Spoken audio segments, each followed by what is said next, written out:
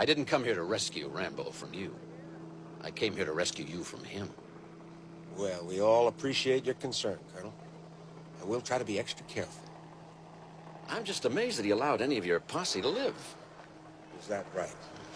Strictly speaking, he slipped up. You're lucky to be breathing. That's just great. Colonel, you came out here to find out why one of your machines blew a gasket.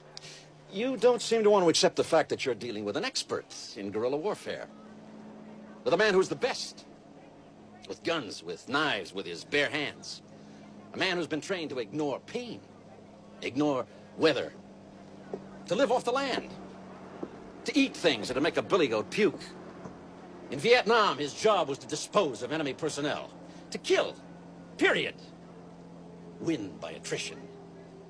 Well, Rambo was the best. Okay, Colonel, now you got us all scared to death. What, what do you and the Special Forces think I ought to do about your psycho out there? Let him go. Do what? For now. Diffuse the whole situation. Diffuse him. Provide a little gap and let him slip through it. Then put out a nationwide APB.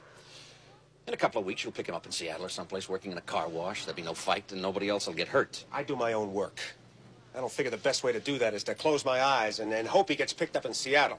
Well, if you send your people in there after him, they'll get killed. You know, we're just a small hick town sheriff's department, Colonel, but we're expected to do our duty, just like our heroes in the Special Forces. In Special Forces, we teach our people to stay alive in the line of duty.